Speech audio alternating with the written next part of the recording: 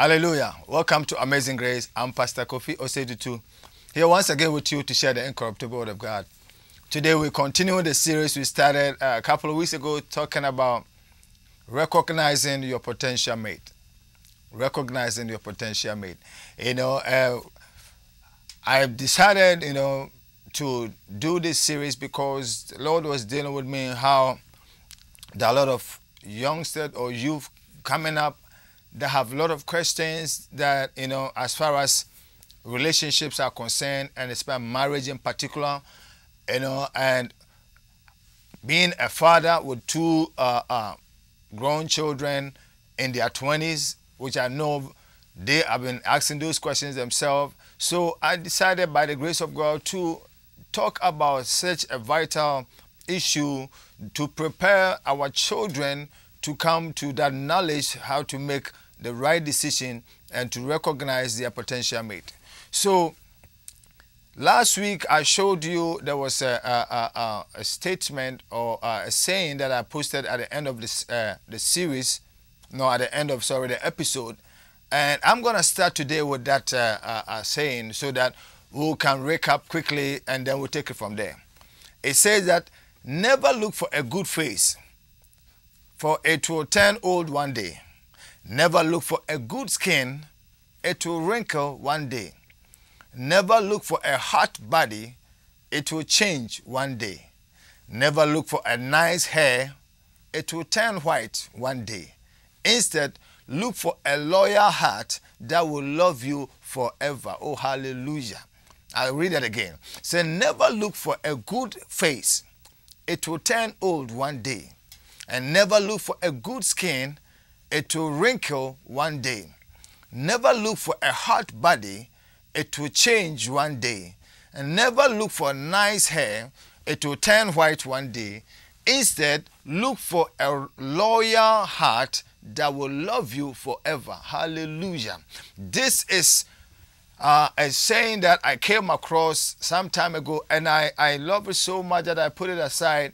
That one day, I mean, the series is gonna be ideal to share it, and it's so true that because when relationship, when you look for a partner or a spouse based on looks or physical looks alone, many a times you can go you can go wrong because these things fade away in this day and age that we live in these things can be bought at the store. Beauty can be bought at the store. People can, you know, have hair, nails, and everything or artificial. So if that is what you are you are going by to choose or select a partner, you can make a big mistake. But the Bible has given us His own standards, which we've been de dealing with. The Bible says in the book of Proverbs, the chapter of 18, the verse of 22 it said that whoso, whoso findeth a wife findeth a good thing and obtaineth favor of the Lord. I read it again. Say, Whoso findeth a wife findeth a good thing and obtaineth favor from the Lord. Oh, I'm going to break this down for you. You see the word say the key in the uh, the word that is being highlighted or being uh, uh, emphasized in this verse is the word findeth. And the word findeth, if you look it up, it means matzah, M-A-T-S-A, in the in the Hebrew language. And the the the meaning actually of it is that to to discover or to recognize or to obtain attain you know all these words as you know words that are denoting something that it, it just don't come you have to diligently search or look in order to recognize to, in order to discern. So the Bible is saying that here God has already prepared that wife that but it is up to you to find based on your your diligent search and what you search for. You see, attraction is the initial uh, uh, uh, uh, uh criteria or the initial thing that bring two people together. Physical attraction, of course, but then it, if you you base your whole uh, decision on the physical attraction alone, you can go wrong. As I said earlier on, as the sayings we showed before said.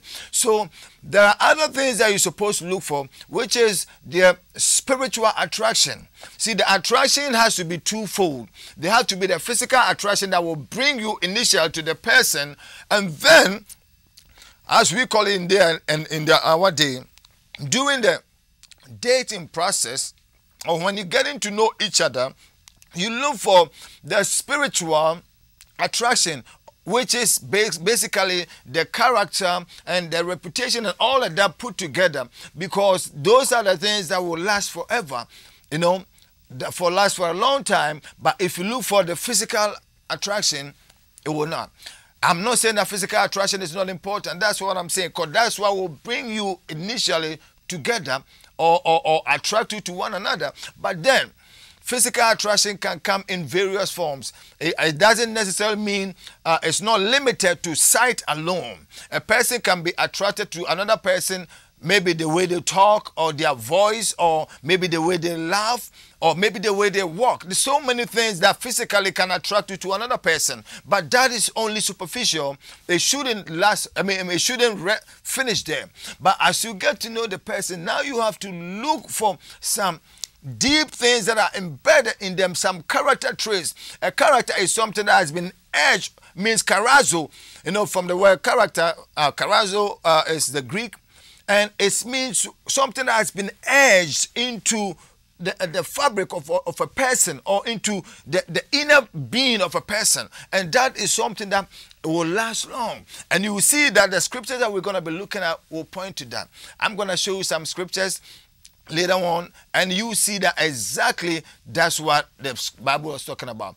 And the Bible also says in the book of Proverbs, the chapter of 31, the verse of 30 says, Favor is deceitful and beauty is vain, but a woman that feareth the Lord, she shall be blessed. You see? See, favor is deceitful and beauty is vain, but a woman that feareth the Lord, what? Character. She shall be praised. Meaning here, the Bible is telling us that beauty, which is a physical attribute, is vain, meaning that it's fleeting. You know, it's, it's, it's, it's vanity. It's something that can, you know, disappear or vanish. Okay? But a woman that feared the Lord, that's a character. Like somebody that feared the Lord, she shall be praised. She is the one that you have to look and admire and praise because the character that that person has, not the beauty. So you should be attracted to somebody more by the character instead of the beauty. Because if you go by the beauty alone, according to this scripture, beauty is very vain. You know, and favor is deceitful. Today you can have favor and tomorrow you may not. So you cannot base on favor to choose a partner. Neither can you base on beauty alone to choose a partner. But a woman that feareth the Lord, she shall be praised. So character is highlighted, very, very important, you know, as far as attraction is concerned. So you notice that I've been dealing with attraction because that is the initial stage. You just don't meet somebody and say, I'm gonna marry him. You see, we live in a day and age, unlike in our in, in the olden days when our our fathers used to choose the spouses for their children knowing the background of the family, knowing the character traits of the family, the reputation of the family, they take all of that into consideration and say, well, this uh, a child from that family will be a good spouse for you based on what we know. Trust me. And the whole family will get behind you and there will be a lot of counseling and advice for you know and you you have people around you that you can go to for godly counseling and advice. But in this day and age these things are non-existent. It's hard to find. You know we put so much emphasis on other things and neglect such a vital thing as marriage or, or, or, finding a spouse, a lifetime venture that needs to be treated with all seriousness. And thank God that He did not leave us clueless or He did not leave us without any solution to that. He devoted one whole book in, his, in the Bible that deals with this issue how to find a partner, you know, how to, uh, and trust me, by the time you finish, we finish with this series, you'll be so blessed because it's gonna show you even Anyway, let's just go on. I just want to whet your appetite more. So now we're going to look at a scripture in the book of Songs of Solomon, and then we'll move from there. This is this is a song that a, a, a whole book that God has devoted to uh, uh, uh, uh, um, spousal attraction, you know, romance and love and sex and all of that is in this very book. And Believe you me, if you take your time to read this book and if you understand it, it's very poetic. So if you have to be somebody who love poetry to be able to understand it the way it was written. So listen to what he said. This is uh, uh, the first encounter between King Solomon and his first wife.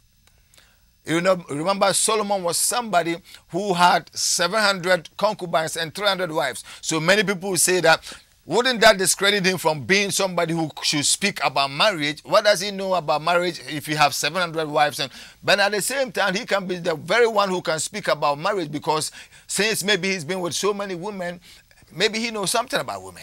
You understand? So it's it's it's a, a catch 22 situation. But then again, this is something that God ordained that through the Holy Spirit that it should be written that we should learn from this. So if you're gonna we're gonna see something from just the first two verses of the chapter of one of the Song of Solomon.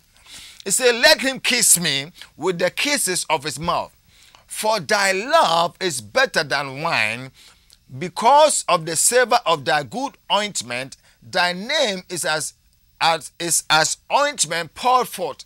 Therefore do the virgins love thee. You know what? I'm going to read it from another translation.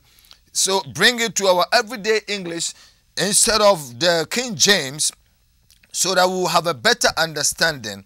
Because when you're reading these scriptures here, it's good to have a better, I mean, a good understanding of it so that you'll be able to apply to our everyday life. This was written in, in, in, in the old days, in the olden days, and in our age, age, the language has been a little bit modified. So I'll read it in our everyday English so that you can get a better understanding of what it's talking about.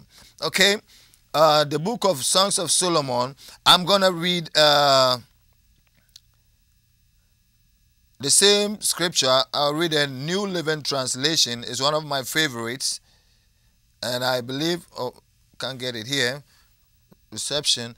Okay, I'll read the easy to read version, the ERV. Uh, it's uh, Songs of Solomon, Songs of Solomon, the Song of Songs or Song of Solomon, the chapter of 1. Yes. Okay. And it reads, It says, Cover me with kisses, for your love is better than wine. Your perfume smells wonderful, but your name is sweeter than the best perfume. That is why the young woman loves you. I read it again. Say, Cover me with your kisses, for your love is better than wine. Your perfume smells wonderful, but your name is sweeter than the best perfume. That is why the young women love you. Here, this is the, the, the woman speaking, addressing Solomon. That the attraction that he has towards Solomon here is twofold. Physical attraction, because he said, Well, kiss me. With the, the other one, uh, version will say, Kiss me with the kisses of your mouth, right? And so the attraction here is talking about, first of all, the physical attraction to kiss him with the mouth.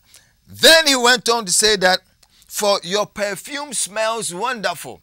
See, another attraction, just by the, the smell, his, his smell, because in the olden days, the men at the time, you know, were not the, the um, rarely took a shower, so they normally put ointments and, and, and perfumes, oils, fragrant per, uh, uh, oils around them, their body, just like then in this day and age, a man will use cologne or a deodorant. So here, she's saying that not only do I want you to kiss me because your, your, your perfume smells so nice that I want to get closer to you, I want to be cozy with you. And, and you see, this is a physical attraction. But then he moved on further to say that he moved on to say that your name is sweeter than your perfume. Your name, what is the name talking about? The name is talking about the reputation. And what is the reputation? Reputation is based on character because without your uh, uh, your name represents what? Your reputation.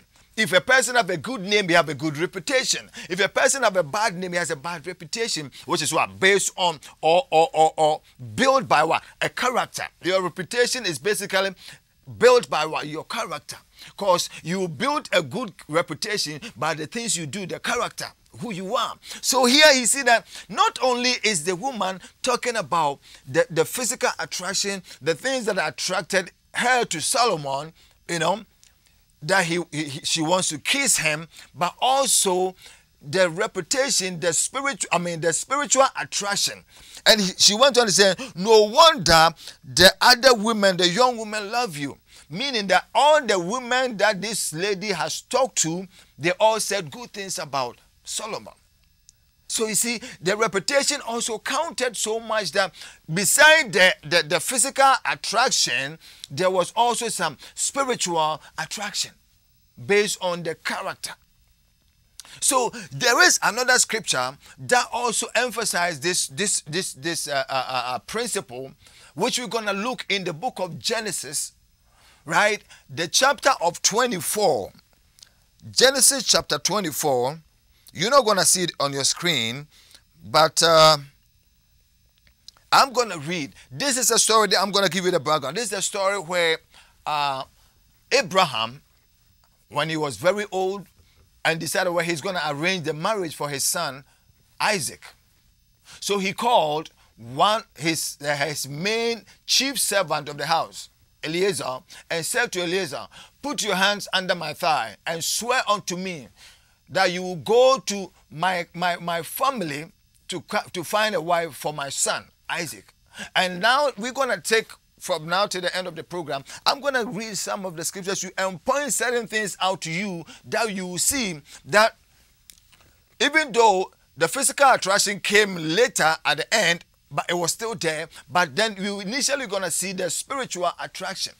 And I want you, there are some key points that we're going to denote or we're going to uh, uh, pick out from this scripture. So, reading from Genesis chapter 24, I'll read it from the verse of 1 onwards. And I'll keep exposing it. And it said, And Abraham was old and well stricken in age, and the Lord had blessed Abraham in all things. And Abraham said unto his eldest servant of his house, that ruled over all that he had, Put, I pray thee, thy hand under my thigh, and I will make thee swear by the Lord, the God of heaven, and the God of the earth, that thou shalt not take a wife unto my son of the daughters of the Canaanites among whom I dwell, but thou shalt go into my country and to my kindred, and take a wife unto my son Isaac. And the servant said unto him, Peradventure, the woman will not be willing to follow me into the, this land. Must i needs bring thy son again into the land from which from whence thou camest? And abraham said unto him beware that thou that thou thou bring not the, my son thither again the lord god of heaven which took me from my father's house and from the land of my kindred and which spake unto me and and that swear unto me, saying, Unto thy seed will I give this land. He shall send his angel before thee, and thou shalt take a wife unto my son from thence. So you see, Abraham gave his, uh, his servant a command that go to my kindred. Go to my kindred. Why would Abraham say to the servant, Go to my family and find me a wife? And not to find a wife in his where he was living. Why? Because when you want to find a wife that God has ordained for you, you have to make narrow the pool and limit yourself to as a believer to only your family. So in our day and age, the family will be what? The body of Christ. So the first thing you look for is that you have to limit yourself within the family. All right. So Abraham said to don't marry among the Canaanites or the, the uncircumcised Philistine, but go to my kindred, to my family, and marry a wife. In this day and age, this principle is still working. It's very rare. It's true that you see intermarriages, yes, but I would say about 80 to 90 percent of the people that marry marry within their race. Hardly do you see an Indian man or woman marrying uh, uh, uh, uh a black man or a black woman or, or, or, or, or an Asian or an, a Chinese person marrying. Of course, it happened, but it's not many. The majority marry within themselves. This is something that God told the children of Israel when they were living that do not intermarry with the people that I'm taking you to. Marry within yourself. Why? Because when you share something in common, for example, you have the same religion with somebody, it's easier to raise your children to follow what you believe. Imagine you are a Christian and your husband is a Buddhist or a Muslim. How are you going to raise your children? So here, Abraham first thing he said is make sure you go to my family. Why? Because they share the same values like I do. So then he said to her, uh, the, the, servant again, when you go, the servant asked him, what if the woman don't want to come? He said, well, if they don't want to come, then I will set you free. So it means that Abraham was expecting a woman who is what? God fear. Okay, if you read the whole scripture, which time is not going to be on my side to read it. But this is what Abraham said. Say, make sure that the woman that you see or you find, you will bring first to here.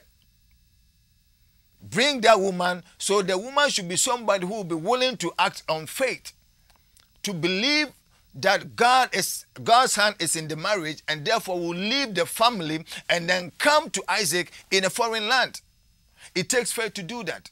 Okay, so the first thing, the woman should be of the family of Abraham. Secondly, the woman should be willing to leave the land where she is and then come to the land where Isaac is. That takes a lot of faith.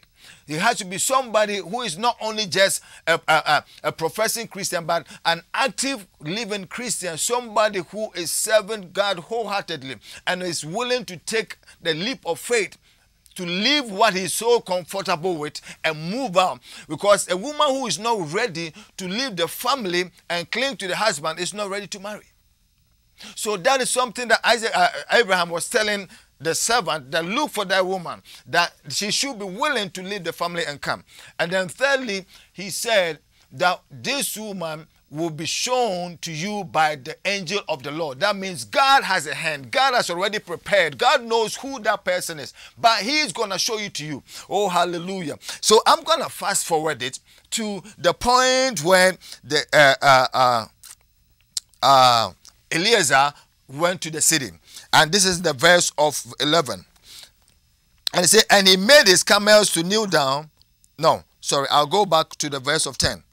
It said, And the servant took ten camels of the camels of his master and departed for all for all the goods of his master were in his hand. And he arose and went to Mesopotamia unto the city of Nahor.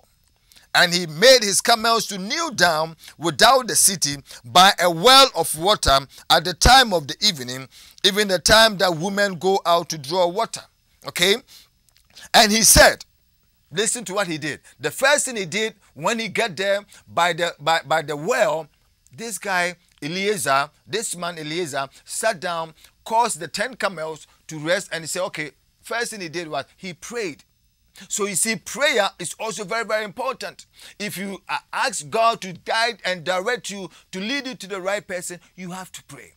And listen to what the, the, the servant did. He prayed. He said, and he said, O Lord God of my master Abraham, I pray thee, send me good speed this day, and show kindness unto my master Abraham.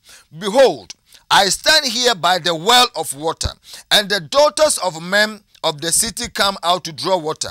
And let it come to pass that the damsel or the girl to whom I shall say, Let down thy pitcher, I pray thee, that I may drink. And she shall say, Drink, and I will give thy camel drinks also. Let the same be the that thou shalt that thou hast appointed for thy servant Isaac. Oh my God. This man made some some some some serious demand. Say, God, I pray that I'm here by the well. And by this token, I will know that it is you who has appointed this man. By this token, let me know the woman you have selected for me.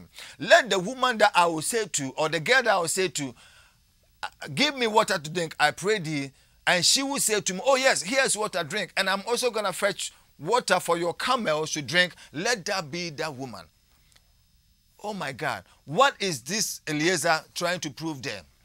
Not only is this woman supposed to be from Abraham's family, secondly, not only is she supposed to, to be able to leave the family and come with Eliezer unto Isaac in a foreign land, Thirdly, not only is she supposed uh, she's supposed to be identified by God, but also this woman has to have a servant spirit.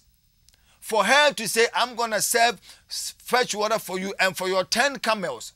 Do you know how much water it takes for a camel to drink to be full? According, I was looking at it uh, uh, on, on, on, on Google. It's about 25 gallons of water. So imagine if she used to fetch water for 10 camels, 25 times 10. That's about 250 gallons. And this woman, the Bible says, if you read further, when Rebecca came and the guy, uh, uh, uh, Eliezer said to him, Oh, hi, could you fetch me some water to drink? So, yes, I will do it. And I'll fetch water for your camels too. And the Bible said that she went back and forth back until all the camels were, were, were, were drunk to their full. And then she ran to the house and told the family. What am I talking about?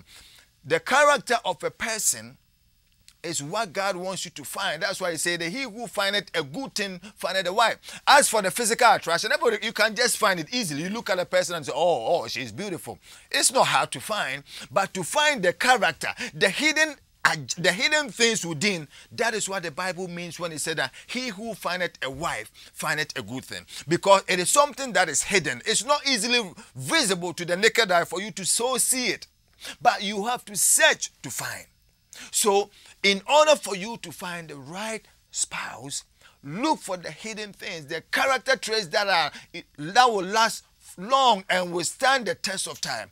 Oh, hallelujah. Time is not on my side, but I know you're going to be so blessed at the end of this series. So when you come in, take a pen and paper to make notes, write things down because it's going to bless you.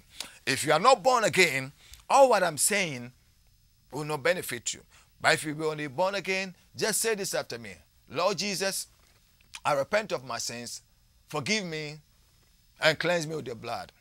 I invite you into my heart as my Lord and my Savior. And if you have prayed that prayer, you've been born again. God bless you. I'll see you next week.